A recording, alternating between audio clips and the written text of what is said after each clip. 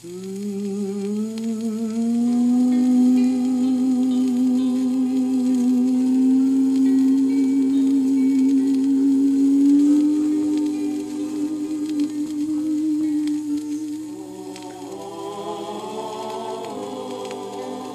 is the story of a little orphan pup.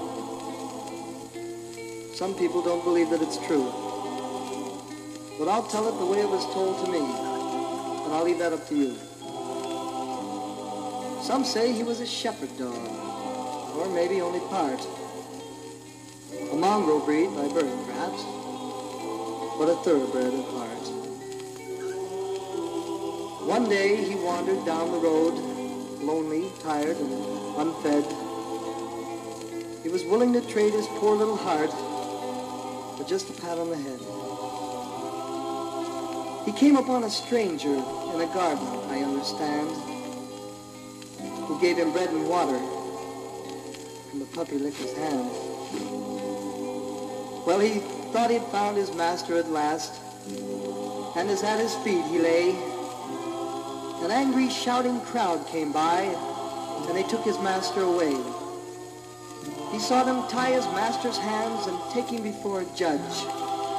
Well, they tried to shoo the puppy away, but the little guy just wouldn't budge.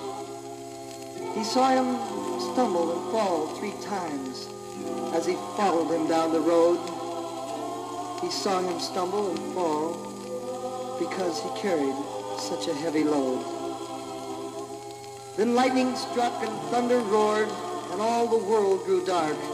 And it's been said that only those who stayed heard a little dog bark. Well, you may not believe it. It doesn't sound true, I know. But a little dog cried when his master died on a hill a long time ago.